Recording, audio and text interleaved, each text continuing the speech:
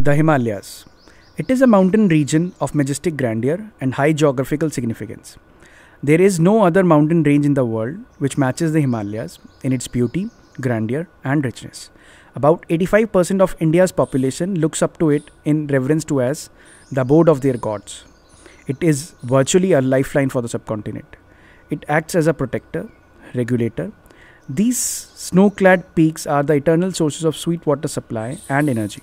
There has been large scale deforestation, overgrazing, and agriculture on forest and marginal lands, resulting in microclimatic changes, loss of wildlife, change in water levels in river regions, soil erosions, floods, and landslides, all of which has brought about hardships, increasing environmental degradation in the ecologically fragile and geologically sensitive Himalayan region.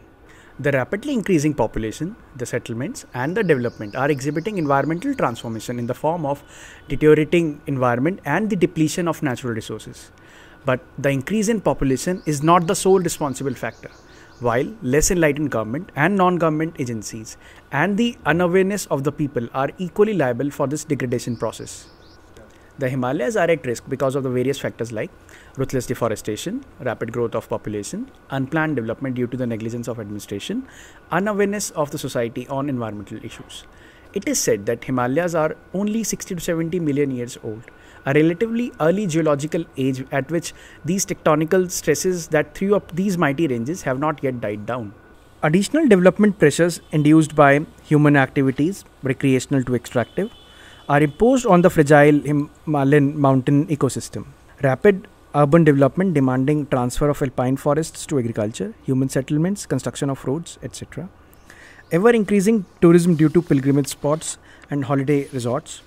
Extractive activities like mining, high dams for hydroelectric power, denudation of forests for fuel, etc ever growing of population is leading to more farming and more cultivated area. And the cattle population is also increasing at the rate of 1.5% to 0.18% per year respectively. One cannot have conflict with the increase in the population. It is impossible to restrict pilgrimage or the adventure tourism. And to support it infrastructure development is also very necessary.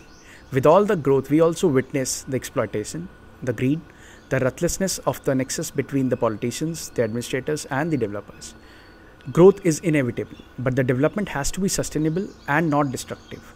We need to find a fine balance between the ecology and the economics.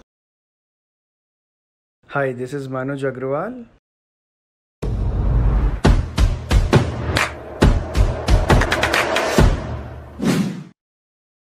During the recent times, however, due to the improvement in transport and communication facilities, a number of Himalayan urban centers are coming up, and simultaneously, the villages are vanishing. Now, due to improved accessibility of these places, people living in the large urban areas have a compulsive urge to take a break periodically and visit the nearby mountain or other resorts in order to rejuvenate in the unpolluted environment.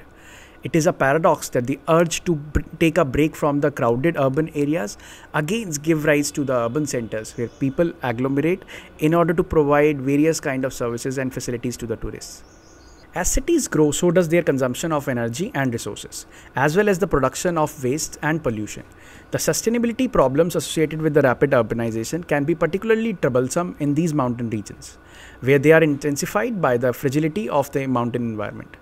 Mountain ecosystems are incredibly sensitive to even small disturbances, and in the recent history, many such regions have suffered rapid degradation because of the human activities. Urbanization rates vary across the state. The northern part of the state is less urbanized than the south, and the southern west districts, where trade, commerce, transport, and the diversification of economy is more, gave rise to the town's growth and more urbanized areas. Regardless of the population size, many of these urban areas are major tourism destinations or are the gateways to these other tourist spots and they experience significant seasonal population increase. During the recent years, there has been a marked development of services like transportation and tourism. The rapid urbanization is also the result of ever increasing migration. There is no doubt that tourism promises a lot in these economically backward regions, but is there enough regulation and substantial planning taking place?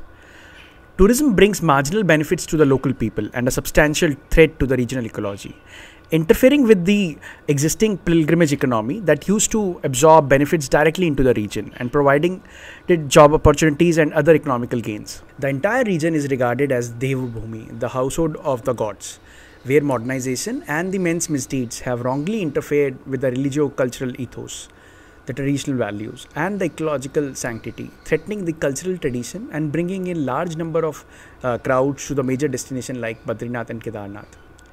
Lately, the search for the wilderness has become a fashion, has become a craze. The people wish to lose themselves amidst the Himalayan majesty and be alone with the shadow exploring the unknown. The present growth of tourism activity is not well planned, and many, especially the prohibited areas, that is the forest or the land for further construction in urban areas, are being indiscriminately uh, utilized for raising money, leading to the fast urban decay. Around the first half of the 19th century, the British established the hill resorts in the more temperate lesser Himalayan zone to provide relief from the extreme climates of the plains. Darjeeling, Shillong, Nainital, Mussoorie, Shimla, and Dalhousie served the needs of the British and later the Indian social elites and became the first modern Himalayan towns with important administrative functions. Mountaineering training centers have been set up in various regions, for example, Uttarkashi in Garhwal. Trekkers and mountaineers are increasingly attracted to areas such as the higher Garhwal Himalaya, and there are amazing uh, bughyals decked with high altitude flowers or dwarf rhododendrons. In 1935, Garhwal established India's first national park in the foothills and named it after the famous English conservationist Jim Corbett. Designed it as a tiger reserve, it has abundant animal life, but unfortunately, it has become a prey to badly thought out development activities. Garhwal Himalayas comprises Hinduism's major pilgrimage zone. Here are the sources of India's holiest rivers, the Ganga and the Yamuna. Here are also Hinduism five Prayags, five Badris, and five Kedars, all adjuncts to the famous Himalayan pilgrimage sites of Badrinath and Kedarnath. Himalayas are too precious to be lost. They are rich in natural wealth, but the rapid urbanization and the increased tourist activity have had a major impact on the environmental fabric. Lack of implementation of planning practices in the region has led to haphazard development, overruling the natural constraints. Civic authorities face a problem in making the master plan for the development of these Himalayan hill towns due to the lack of surveys, information bases, and the professional expertise. Most of these settlements are left organically to grow on their own and not planned. There are either no bylaws and controls or they are not appropriate for most of the times. The movement of pilgrims and their interaction with the local population and the surroundings have put up a very heavy strain on the infrastructure facilities in the area en route to the famous destinations. The last two decades have registered an unprecedented and alarming growth in these pilgrimage tourism. This is unabated and continues to grow. Therefore, there is an urgent need to setting up guidelines for the future growth and the development before it gets too late. We cannot stay ignorant anymore. On this note, I end this conversation and hope to see you soon. Namaskar.